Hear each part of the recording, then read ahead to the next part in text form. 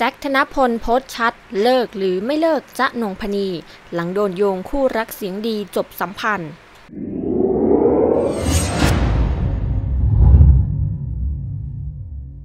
คู่รักเสียงดีได้ออกมาแห่ชี้แจงกันอยู่หลายคู่ค่ะ หลังจากมีเพจดังระบุประเด็นร้อนถึงคู่รักเสียงดี ที่ตอนนี้ได้เลิกรากันอีกคู่แล้วทำเอาหลายคนต่างเดากันหนักมากว่าเป็นคู่ของใคร ซึ่งหลายคนถูกโยงก็ได้ออกมาชี้แจงไม่ว่าจะเป็นคู่ของกวางและน้ำหวาน หรือว่าก้าวและวี ยืนยันว่ายังรักกันดีค่ะ ขณะที่คู่ของนักร้องสาวจ๊ะนงพนีกับหวานใจแจ็คธนพล ซึ่งทางฝ่ายชายก็ได้ออกมาเคลื่อนไหวแล้วเช่นกัน ด้วยการโพสต์ภาพคู่กับแฟนสาว พร้อมกับแคปชั่นอิโมจิรูปหัวใจโดยมีแฟนๆ เข้ามาคอมเมนต์ดีใจกันรัวๆ อาทิเช่น ดีใจที่เห็นรูปคู่ค่ะ รักกันยาวๆ ไปเลยนะคะ บางคอมเมนต์บอกว่าน่ารักทั้งคู่เลยค่ะ